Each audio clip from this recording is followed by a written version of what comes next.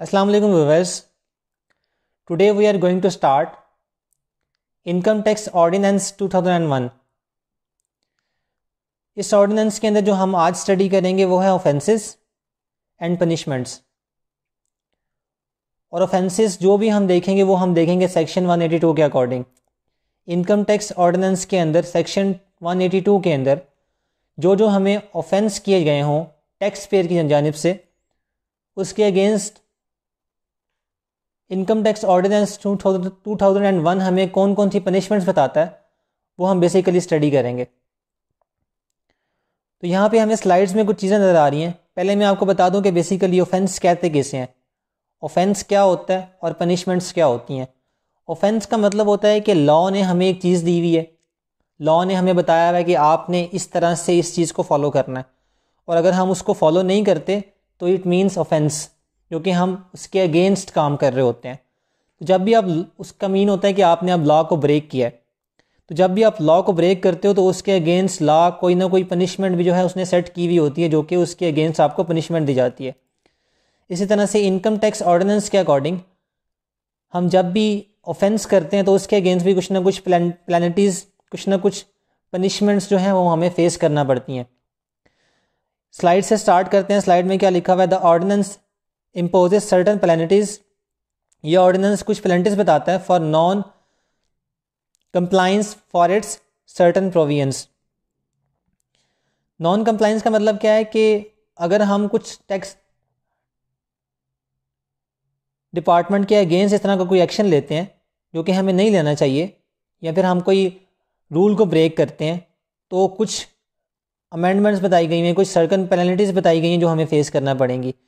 Provisions relating to the penalties for certain offences कुछ provisions यहाँ पे बताई गई हुई हैं are quoted here under for section 182 तो वन हम इस लेक्चर के अंदर देख भी ये चीज़ रहे हैं कि 182 के अकॉर्ड सेक्शन में कौन कौन से ऑफेंसेस होते हैं कौन कौन सा ऑफेंस अगर हम करेंगे तो उसके अगेंस्ट हमें कौन कौन सी पेनल्टीज बियर करना पड़ेंगी। तो इसमें जो सबसे पहले हमारे पास स्लाइड आ रही है, उसमें हमें बताया जा रहा है कि सेक्शन 114, 115, 116 आपको राइट साइड के ऊपर आपको शायद सेक्शंस नज़र आ रहे होंगे। फोर्थ बॉक्स के अंदर। जहाँ पे लिखा हुआ है कि आपने अगर इस सेक्शन के अगेंस्ट ये वाली ऑफेंस किया है तो आपको जो बीच में आपको नज़र आ रहा है प्लानिटीज़ वो आपको फेस करना पड़ेंगी। अगर आपने सेक्शन 114, 115, 116 और 165 इनके अगेंस्ट आपने कोई ऑफेंस किया है इसके अंदर रहते हुए आपने कोई ऑफेंस किया और वो ऑफेंस किस तरह का हो सकता है? Where any person fails to furnish अगर कोई भी टैक्स पेयर है, वो फर्निश नहीं कर पाया, क्या? ऑफ़ रिटर्न ऑफ़ इनकम अपनी इनकम का उसने रिटर्न जमा नहीं करवाया। और any statement as required under under section one one five या फिर सेक्शन वन वन फाइव के अकॉर्डिंग उसने कोई स्टेटमेंट जमा नहीं करवाई, या फिर उससे कहा गया था कोई वेल्थ स्टेटमेंट या उसे कहा गया था वेल्स रिकन्सलिएशन स्टेटमेंट। और उसने ये स्टेटमेंट भी जमा नहीं नहीं करवाई। Or statement under section 165 within due date. या 165 के अकॉर्डिंग कोई भी ड्यू डेट तक उसने रिटर्न जमा नहीं करवाया। तो इट मीन्स कि उसने ये कुछ ऑफेंसेस किए हैं। एक तो उसने रिटर्न फर्निश नहीं किया, इनकम टैक्स जमा नहीं करवाया। उसके बाद कुछ स्टेटमेंट्स मांगी गई थी वो उसने जमा नहीं करवाई। वेल्थ स्टेटमेंट मांगी गई थी, उसने नहीं जमा करवाई। रिकन्सलिएशन स्टेटमेंट मांगी गई थी, वो उसने जमा नहीं करवाई। या फिर 165 के अगेंस्ट उसने एक पर्टिकुलर डेट तक ये सारा कुछ जमा नहीं करवाया। तो उसको किस तरह की सज़ा मिल सकती है? उसको बेसिकली यहाँ पे तीन सजाएँ लिखी हुई हैं जो कि उसको फ़ी जमा करवानी हो सकती है एक्स्ट्रा फ़ी या उसको चार्ज किया जा सकता है। सबसे क्या, पहले क्या है? Zero point one percent of tax payable for each day जिस दिन वो टैक्स जमा नहीं करवाएगा, उसके आने वाले हर दिन में, अब वो, उसने ट्वेंटी फाइव फिफ्थ दिसंबर को जमा करवाना था ट्वेंटी सिक्स में वो जाएगा, उसको वन परसेंट अपने टैक्स का, जितना उसने टैक्स पे करना था, उसका वन परसेंट ऐड होता चला जाएगा। मतलब उसने, अगर एक लाख रुपए जमा करवाना था टैक्स तो हर दिन के साथ, जिस दिन उसने नहीं करवाया, उसके आने वाले हर दिन के साथ, उसका एक हज़ार रुपया ऐड होता चला जाएगा। या फिर इसकी ये होगी सज़ा या फिर उसकी मिनिमम जो उसने पे करना होगा इस इन सेक्शंस के अगेंस्ट जो उसको पेनल्टी हो सकती है, वो है फाइव थाउज़ेंड और मैक्सिमम ये जो इसको चार्ज कर सकते हैं ट्वेंटी फाइव परसेंट तक चार्ज कर सकते हैं। इससे ज़्यादा नहीं चार्ज कर सकते। तो जब भी हम ऑफेंसेस करेंगे section one one four one one five one one six या वन सिक्सटी फाइव के अगेंस्ट जो यहाँ पे ऑफेंसेस लिखे हुए हैं तो उसके अगेंस्ट ये पर्टिकुलर पेनल्टीज जो हैं लॉ हमें बताता है कि आपको ये फेस करना पड़ेंगी। इसी तरह से नेक्स्ट है। आपकी सेकंड जिसके अंदर आपको सेक्शन 174 बताया गया हुआ है and chapter seven of the income tax rules जिसके अंदर वो कहते हैं कि any person who fails to issue cash memo कि उन्होंने आपसे कैश की रिसीप्ट मांगी है, या कैश मेमो मांग कैश मेमो मांगा है, या फिर आपसे इन्वाइसेस मांगी हैं or received when required under this ordinance इस पर्टिकुलर ऑर्डिनेंस के अकॉर्डिंग सेक्शन 174 के अंडर आपसे कुछ कैश मेमोज मांगे गए हैं। कुछ इन्वाइसिस कहा कहा गया था कि आप जमा करवाएँ या कैश रिसीव्स मांगी गई थी और वो आप जमा नहीं करवा पाए हैं। तो इसके अगेंस्ट आपको जो पेनल्टी होगी, वो फाइव थाउज़ेंड होगी या फिर थ्री परसेंट जो भी आपने टैक्स पे करना है उसका। जितनी आपने अमाउंट पे करनी थी अमाउंट ऑफ़ टैक्स मतलब आपने दस हज़ार टैक्स पे करना था, उसका थ्री परसेंट जितना भी बनेगा, वो अमाउंट या फिक्स पाँच हज़ार। इन दोनों में से, इसका इसमें नीचे लिखा हुआ है कि विच इज़ हायर इन दोनों को कंपैरिजन कर लेंगे, जो भी हायर होगा, अगर पाँच हज़ार ज़्यादा तो आप पाँच हज़ार जमा करवाएँगे, अगर उस आपके टैक्स का तीन परसेंट ज़्यादा तो आप वो जमा करवाएँगे। तो इन दोनों में से जो भी चीज़ हायर है, वो आपको जमा करवानी होगी।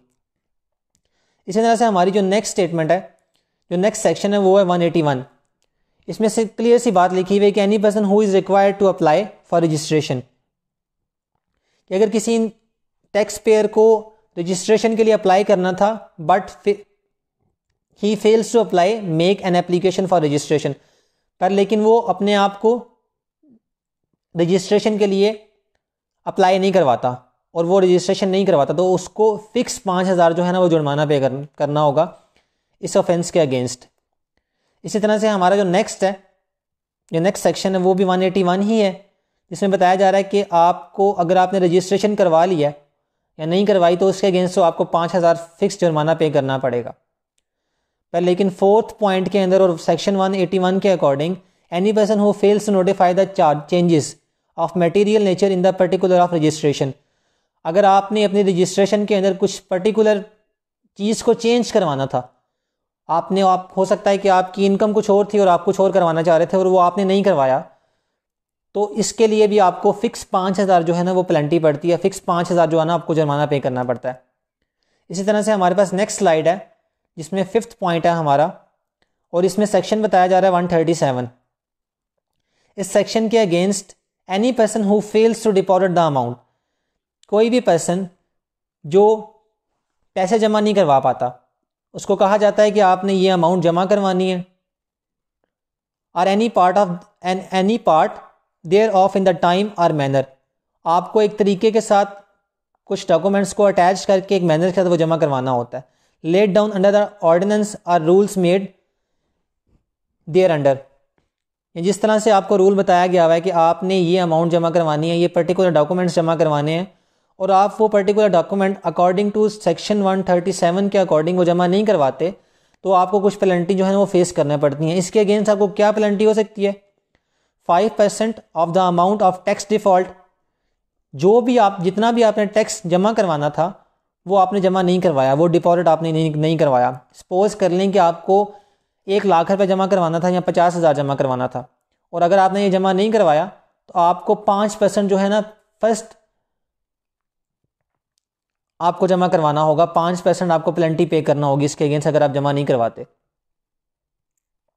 और अगर आप फिर भी जमा नहीं करवाते, आपको आपको एक नोटिस देने के बाद भी तो फिर क्या होता है कि आपको दूसरा नोटिस आता है, उसमें आपको जब दोबारा जमा करवाना होगा ट्वेंटी फाइव परसेंट अमाउंट के साथ आपको वो डिफ़ॉल्ट पूरा करना होगा, आपको ये पे करना होगा बेसिकली एक्स्ट्रा चार्ज होगा आपको।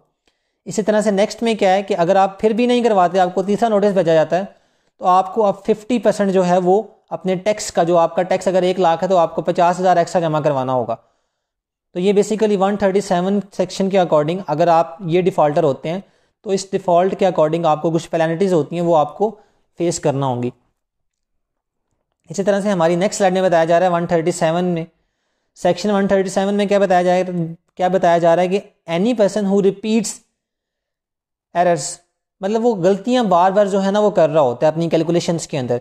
जो भी कैलकुलेशन वो करता है, जो भी वो काउंटिंग करता है या गिनता है अपनी इनकम को तो वो क्या करता है? In the return for more than one year अगर उसके एक साल के अंदर वो बार बार गलतियाँ कर रहा है where amount of tax less than the actual tax payable under this ordinance is paid कि मतलब उसने, पहले भी उसने इस तरह से किया था, उसने, उसका पचास हज़ार टैक्स बनता था, उसने दस हज़ार जमा करवा के इस तरह से करके उसने जान छुड़वा ली। उसने दोबारा से ये काम किया है। अब उसका एक लाख बनता है, अब वो पच्चीस हज़ार शो कर रहा है और वो जान बूझ के ये कर रहा है। तो अगर इस तरह की गलतियाँ रिपीट रिपीट हो रही होती हैं और अगर वो पकड़ा जाता है इस चीज़ के अंदर तो उसके लिए भी सज़ा होती है। उसके लिए भी उसने एक अमाउंट पे करना होती है, एक एक्स्ट्रा अमाउंट पे करना होती है। सेक्शन 137 के अकॉर्डिंग अगर वो पर्सन इस, इन चीज़ों का डिफॉल्टर होगा कि वो क्या कर रहा है, कि वो कैलकुलेशन के अंदर गलतियाँ कर रहा है तो उसको फाइव थाउज़ेंड फिक्स पे करना होगा। या फिर जो उसने टैक्स देना है, जो भी अमाउंट इन्वॉल्व होगी, जो उसने टैक्स पे करना है, उसका थ्री परसेंट लेंगे। या फाइव थाउज़ेंड या थ्री परसेंट दोनों में से जो भी अमाउंट बड़ी होगी बेसिकली वो उसको पे करना होगी। इसके बाद जो हमारी नेक्स्ट स्लाइड है, उसके अंदर सेक्शन 174 है।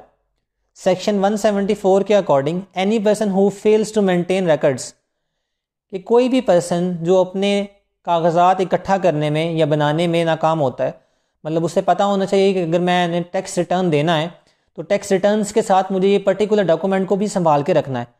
और अगर वो इन हास डॉक्यूमेंट्स को संभाल के नहीं रखता और जब टैक्स डिपार्टमेंट उससे वो रिक्वायर करता है और वो कहता है कि ये डॉक्यूमेंट्स मेरे पास नहीं है तो ये नहीं है कि वो आपको कहेंगे कि नेक्स्ट टाइम आप ये प्रिपेयर कर लीजिएगा। तो डेफिनेटली वो आपको चार्ज करते हैं इस चीज़ का, आपको पेनल्टी डालते हैं। अगर आपको पेनल्टी ना हो या फिर आपको चार्ज ना करें तो आप नेक्स्ट टाइम भी ये चीज़ कर रहे होते हैं। तो इसलिए अगर आप कुछ खास डॉक्यूमेंट्स प्रिपेयर करने में नाकाम होते हैं तो टैक्स डिपार्टमेंट आपको कुछ पेनल्टीज बेसिकली फेस करना पड़ती हैं इन सेक्शन 174 के अगेंस्ट या फिर दस हज़ार फिक्स आपको पे करना होगा उसके अगेंस्ट या फिर जिस, जो भी अमाउंट आपका जितना भी टैक्स बनता है अमाउंट जो आपने पे करनी है उसका फाइव परसेंट इन दोनों में से जो भी हायर होगा, वो आपको बेसिकली पे पे करना होगा। सेक्शन 174 के अगेंस्ट अगर आप डिफॉल्टर होते हैं तो। इसी तरह से हमारा एट्थ पॉइंट है, जिसमें बताया जा रहा है कि हमारा सेक्शन 177 में आप क्या क्या चीज़ें जो है वो गलतियाँ कर रहे होते हैं। और अगर आप इस चीज़ में डिफॉल्टर बनते हैं तो आपको कौन सी पेनल्टीज फेस करना पड़ती हैं? Where a taxpayer whose without any reasonable cause कि मतलब आप बिना बताए जो है, क्या होते हैं नॉन कंप्लाइंस बन जाते हैं। मतलब आप, कोई वजह नहीं होती इस चीज़ की, और आप जो है, वो ये चीज़ कर रहे होते हैं सेक्शन वन वन सेवन के according one one double seven के according fails to produce records आप विदाउट कोई रीज़न विदाउट कोई काज कोई खास वजह भी नहीं है। आप कोई वजह भी नहीं दे पा रहे हैं। आप क्या करते हैं कि आप कोई डॉक्यूमेंट संभाल के नहीं रखते, कोई डॉक्यूमेंट का आप रिकॉर्ड नहीं रखते। Or receives of first notice तो फिर आपको एक नोटिस भिजवाया जाता है। आपको पहला नोटिस भिजवाया गया है तो आप क्या करते हैं कि आप वो उसको फिर भी संभाल के नहीं रखते तो आपको पाँच हज़ार बेसिकली जुर्माना किया जाता है। फेल्स टू प्रोड्यूस रिकॉर्ड्स और documents on receives of second notice और अगर आपको ये भी समझ नहीं आता सेकंड नोटिस भी आपको दिया जाता है, आप फिर भी वो काम नहीं कर रहे होते, आप फिर भी अपने रिकॉर्ड्स को संभाल के नहीं रखते, उनको उस तरह से नहीं रखते जिस तरह से आपको कहा गया और फिर उस तरह से जमा भी नहीं करवाते।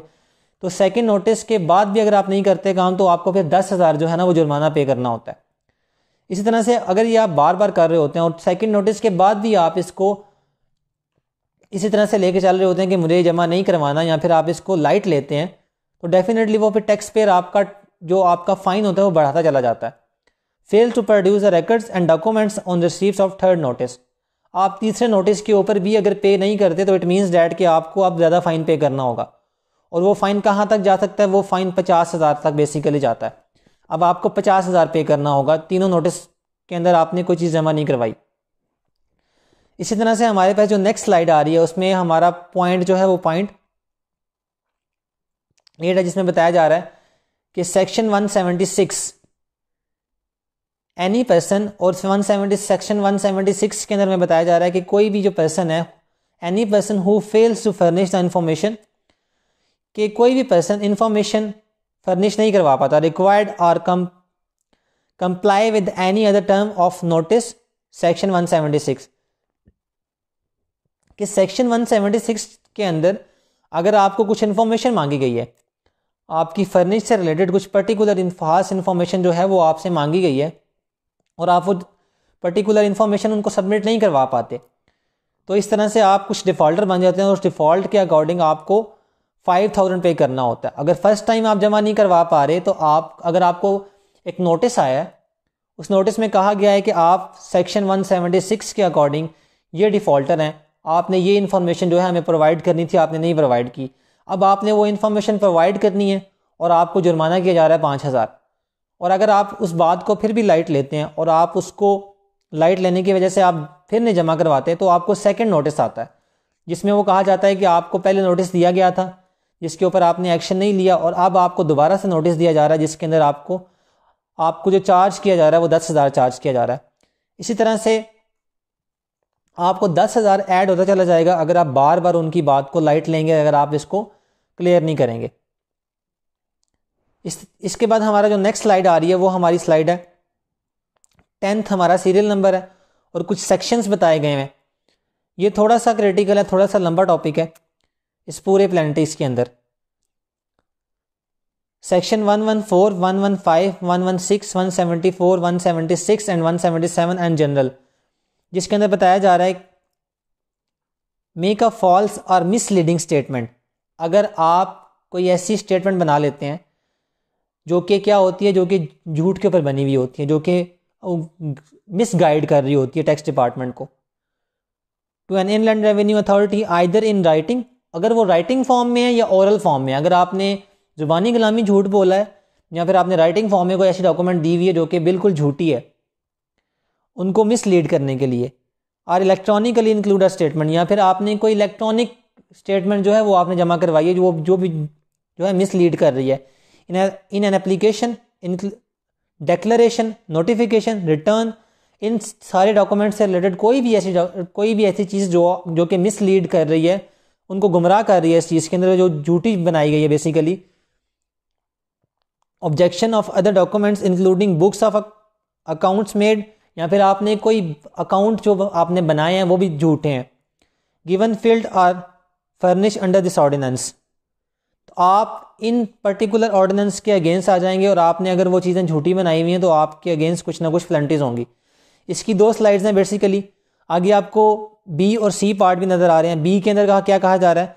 फर्निश आर फाइल्स आपने कोई फ़ाइल फर्निश की है और फॉल्स है या मिसलीड कर रही है information document or statement to any income tax authority कि इनकम टैक्स अथॉरिटी को आपने रिटर्न फॉर्म में कोई चीज़ दी है या ओरल फॉर्म में कोई चीज़ दी है, या फिर आपने इलेक्ट्रॉनिकली फॉर्म में कोई चीज़ दी है, पर लेकिन वो झूठ पे मबनी है। वो जो भी आपने चीज़ बनाई है वो सच्ची नहीं है। तो उसके अगेंस्ट आपको कुछ ना कुछ पेनल्टी पे करना होगी। सेक्शन आपको पीछे बता दिए गए हैं। इस तरह से ओमिट्स फ्रॉम स्टेटमेंट मेड और इन्फॉर्मेशन आप वो चीज़ उस स्टेटमेंट के अंदर आपको भूल जाते हैं वो चीज़ देना। Furnish to an income tax authority any matter thing without which of statement information false कि आप झूठी इन्फॉर्मेशन दे रहे हैं, जबकि आपको एक्चुअल इन्फॉर्मेशन देनी थी, वो आप नहीं प्रोवाइड कर रहे होते। Or misleading in a material particular आप बेसिकली क्या कर रहे होते हैं, एक पर्टिकुलर चीज़ से रिलेटेड अपनी इनकम से रिलेटेड अपने डॉक्यूमेंट से रिलेटेड मिसलीड कर रहे होते हैं। किसको? इनकम टैक्स डिपार्टमेंट को।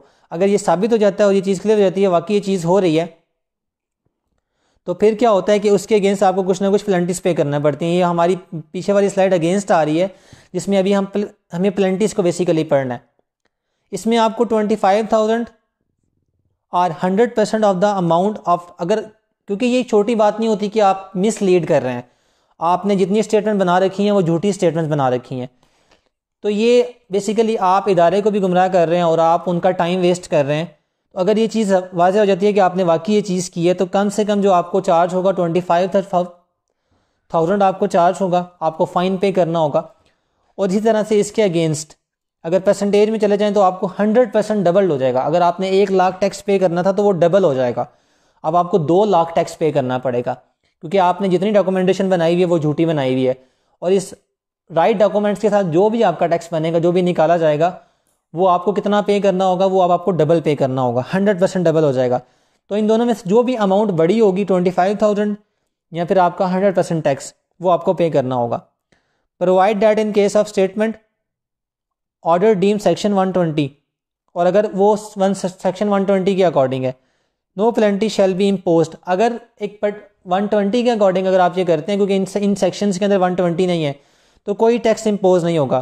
To extent of the as a result of taxpayer taking reasonably arguable position on the application of this ordinance to the taxpayer position तो ये आपकी बेसिकली अगर आपका कोई टैक्स बन ही नहीं रहा तो फिर आपको ट्वेंटी फाइव थाउज़ेंड जमा करवाना है, या फिर आपको हंड्रेड परसेंट जमा करवाना है तो वो आपकी टैक्स की पोजीशन को देख के, आपकी क्रेडिबिलिटी को देख के, इन चीज़ों को देख के, आपके ऊपर कोई ना कोई पेनल्टी इम्पोज की जाएगी। इसके बाद जो हमारे पास नेक्स्ट स्लाइड आ रही है, वो हमारा इलेवंथ पॉइंट है। इलेवंथ पॉइंट में बताया जा रहा है कि सेक्शन 175 या 177 इन सेक्शंस के अगेंस्ट भी अगर आप डिफॉल्टर होते हैं एनी पर्सन हु डिनाइज और obstruct the access of the commissioner कि आप मना कर देते हैं। अगर कमिश्नर ने आपको कहा है कि आप ये चीज़ें जमा करवाएँ और any officer authorize by the commissioner अगर आपको कमिश्नर ने कहा है कि ये चीज़ें जमा करवाएँ, या फिर कमिश्नर की तरफ़ से किसी कमिश्नर की तरफ़ से अपॉइंट किए गए किसी ऑफिसर को कमिश्नर ने भेजा है और कहा है कि इस पर्टिकुलर पर्सन से ये चीज़ें लेकर आओ और आप मना कर देते हैं, आप डिनाई कर देते हैं उस पर्टिकुलर चीज़ से related commissioner to the premise जो कि उस, उसके बात मान रहा है बेसिकली ऑफिसर और अगर आप उस ऑफिसर को मना कर देते हैं प्लेस अमाउंट डॉक्यूमेंट्स कंप्यूटर और स्टॉक किसी चीज़ को भी तो इस मीन्स कि आप क्या कर रहे हैं, आप ऑफेंस कर रहे हैं। आप कानून के अंदर ऑफेंस कर रहे हैं, आपको लॉ के अगेंस्ट आप ऑफेंस कर रहे हैं तो इसके अगेंस्ट आपको क्या हो सकता है? एक पर्टिकुलर पेनल्टी बताई गई है जो आपको फेस करना होगी। इसके अंदर पच्चीस हज़ार आपको फिक्स पे करना होगा। अगर आपने इनकम टैक्स ऑफिसर को मना कर दिया, या फिर कमिश्नर को आप मना कर रहे हैं कि हम ये चीज़ प्रोवाइड नहीं करेंगे, या फिर हंड्रेड परसेंट आपको टैक्स पे करना होगा मतलब अगर आपका दस हज़ार टैक्स बनता है तो आपको बीस हज़ार पे करना होगा, वो डबल हो जाएगा। फिर हम कंपैरिजन करेंगे इन दोनों अमाउंट्स को, कि पच्चीस हज़ार को और हंड्रेड परसेंट को। जो भी अमाउंट हायर होगी, वो आपको बेसिकली पे करना होगी। इसी तरह से हमारे पास ट्वेल्थ पॉइंट आ रहा है, जिसमें सेक्शन ट्वेंटी वन ट्वेंटी है बेसिकली और ट्रिपल वन है। यहाँ पे वन नहीं लिखा हुआ, वो आप बुक से देख सकते हैं। इसके अगेंस्ट सेक्शन वन वन और ट्रिपल वन और जनरल्स के अगेंस्ट आपको क्या करना है? अगर आपने कोई ऑफेंस किया है और वो ऑफेंस किस तरह का हो सकता है? Where a person has concealed income concealed मतलब वो छुपा लेता है। कंसील्ड का मतलब होता है कि वो अपनी इनकम्स को शो नहीं करता। हमने इनकम टैक्स ऑर्डिनेंस 2001 के अकॉर्डिंग पाँच सेक्शंस पढ़े हैं कि कोई भी बंदा जो होता है, वो पाँच तरह से अपनी इनकम्स कमा सकता है। पाँच तरीके होते हैं उसकी इनकम कमाने के। तो अगर उन सेक्शंस के अकॉर्डिंग वो तीन तरह से इनकम कमा रहा है और बाकियों को वो कंसील कर लेता है, वो छुपा लेता है or furnish or inaccurate particular of such income और वो अगर कोई इनकम बताता भी है तो वो सही तरह से नहीं बताता। वो क्लियर नहीं करता but not limited separation of any income और अमाउंट चार्जेबल टू टैक्स जो कि जिसके ऊपर टैक्स उसको देना पड़ सकता है। जो वाकई टैक्स में आती है, वो छुपा लेता है। तो इसके अगेंस्ट क्या होता है? The claiming of any reduction of any expenditure not actually incurred या फिर वो क्या करता है कि कोई भी ऐसा खर्चा, कोई भी ऐसा एक्सपेंडिचर जो कि नहीं बनता, और वो उसको एक्सपेंडिचर शो कर देता है, और ये चीज़ वाज हो जाती है क्लियर हो जाती है कि इसने ये चीज़ की है। एक तो वो अपनी इनकम छुपा रहा है, जो उसने एक्चुअल इनकम उसकी बनती है डिफरेंट इनकम्स में से। और दूसरा वो क्या कर रहा है, दूसरा वो ऐसे एक्सपेंडिचर्स शो कर रहा है जो कि उसके एक्सपेंडिचर्स है ही नहीं है। जिसमें subsection one of section one triple one in the course of the proceeding under this ordinance before any income authority और the appellate tribunal appellate tribunal या फिर किसी भी टैक्स अथॉरिटी के पास जाने से पहले अगर वो ये लॉ तोड़ता है और वो ये चीज़ें छुपाता है, अपनी इनकम को छुपाता है, अपने एक्सपेंडिचर को ज़्यादा शो करता है तो उसके अगेंस्ट इसको कुछ पेनल्टीज पे करना हो सकती हैं। जिसके अंदर उसको नज़र आ रहा है कि ट्वेंटी फाइव थाउज़ेंड जो है उसको fix or an amount equal to the tax which the person sort of the evade twenty five thousand या फिर जो भी उसकी टैक्स होगा उसका बेसिकली परसेंटेज देखी जाएगी। तो इसमें से जो भी हाई होगी, वो उसको बेसिकली पे करना होगी। इसके बाद हमारी दो लास्ट स्लाइड्स रह गई जिसमें से हमारा थर्टीन है और फोर्टीन है। थर्टीन को देखते हैं कि कौन कौन सा सेक्शन इसके अंदर आ रहा है। थर्टीन के अंदर बेसिकली हमारा सेक्शन है two zero nine and two ten and generals अब इसमें हम क्या गलती करते हैं? हम कौन सा कौन सी डिफ़ॉल्ट करते हैं? कौन सा ऑफेंस करते हैं? जिसकी वजह से हमें कुछ पेनल्टी जो है ना फेस करना पड़ सकती है। इसमें सबसे मेन इंपॉर्टेंट चीज़ है वो है any person who obstructs any income tax authority in the performance of this official duties कि इनकम टैक्स डिपार्टमेंट जो है उसके ऑफिसर्स होते हैं। और इन ऑफ़िस ने अपना काम करना होता है। और वो ऑफिसर जब अपना काम कर रहे होते हैं तो वो आपसे डिफरेंट रिक्वायर डिफरेंट चीज़ें रिक्वायर कर रहे होते हैं। और समटाइम वो आपसे रिक्वायरमेंट में अपना काम जब कर रहे होते हैं तो वो चीज़ें मांगते हैं। तो आप आज कहते हैं कि मैं आज प्रोवाइड कर दूँगा, फिर आप कहते हैं कल प्रोवाइड कर दूँगा तो आप उनके मामला के अंदर बेसिकली दखल अंदाजी कर रहे होते हैं। उनको ठीक तरीके से काम नहीं देने करने दे दे रहे होते। तो इट मीन्स कि आप ऑफेंस कर रहे हैं। आप उस ऑफिसर को जिसने बेसिकली इनकम टैक्स डिपार्टमेंट के अंदर काम करना है और आपका टैक्स मैटर को क्लियर करना है, आप उसको अच्छे तरीके से डील नहीं कर रहे। और अगर ये वाकई साबित हो जाता है कि आप उसके काम के अंदर मुदाखलत कर रहे हैं तो उसके अगेंस्ट भी जो है ना, आपको फ़ाइन हो सकता है। Such person shall pay a penalty of five twenty five thousand तो ऐसा बंदा जो इनकम टैक्स ऑफिसर के साथ उन मैनर्स के साथ नहीं चल रहा होता, जिस तरह से चलना चाहिए, उसको सारे डॉक्यूमेंट प्रोवाइड करने चाहिए, अगर वो नहीं प्रोवाइड कर रहा होता तो इसके अगेंस्ट क्या हो सकता है? उसको ट्वेंटी फाइव थाउज़ेंड फिक्स पे करना होगी बेसिकली ड्यू प्लेंटी इसके बाद हमारे पास जो है लास्ट पॉइंट आता है, जिसमें हमारे पास काफ़ी सारे सेक्शंस बताए गए हैं इसके अंदर।